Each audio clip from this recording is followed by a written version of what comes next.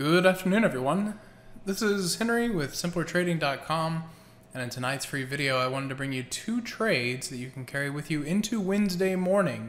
So, as we got August kicked off, the indexes were pretty modest, right? We, we see a lot of commentary on the seasonal tendency of potential bearishness through August, but I think it's important to realize that that is made on a bigger backdrop, on something of thinking about like maybe the past 21 years, and you see those bearish tendencies.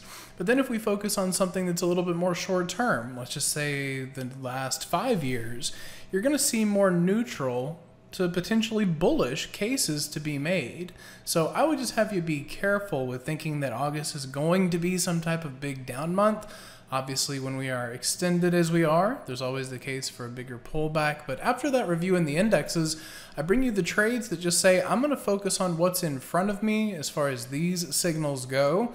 And if a bigger correction does come, we can always very clearly define our risk in the options market. But I think NVIDIA is something that you begin watching for the opportunity to buy as early as Wednesday morning, and I would continue buying it throughout the week, especially if we do not take out this 192.20.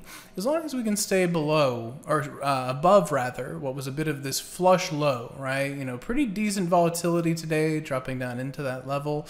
But if you stay above above here, what you're looking for is about 14 days prior to the earnings announcement, NVIDIA can start to see a little bit of upward bias, a little bit of uh, anticipation ahead of these earnings numbers, and you're playing the direction, but then you're also playing the rising implied volatility. So I like the idea of buying something like the Delta 50, maybe the Delta 60 options. In a perfect world, you get to pick these up somewhere in here on Wednesday morning. You flip a piece of them above the 202.22, and then you know, if it makes it easy, maybe we take out the high. If not, you know, this will be the higher probability trade and I think that will be worth having eyes on as we kick off tomorrow's session. Now, one more is going to be Walmart, and maybe not quite as exciting as NVIDIA, but you know, you have squeezes all the same, and I believe there is some potential here as well. So the 130 minute compressing for a lot longer and of course, that is the whole art here in saying when does the signal finally resolve and give you the directional move, getting out of what is largely being seen as compression and trading in a range.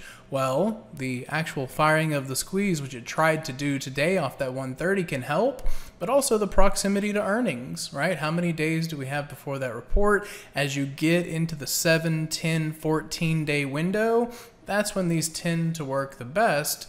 And I think that Walmart and Nvidia will be um, a good place to look for those types of opportunities for the next couple of weeks into their reports. And ideally, will do well um, no matter what the indexes do. So I hope that's helpful and gives you a few ideas to carry into your next trading session. Without simpler trading, I could not have financial independence. This is one of the best investments I ever made in my life. It's helping me find consistency. It's one of the things that won me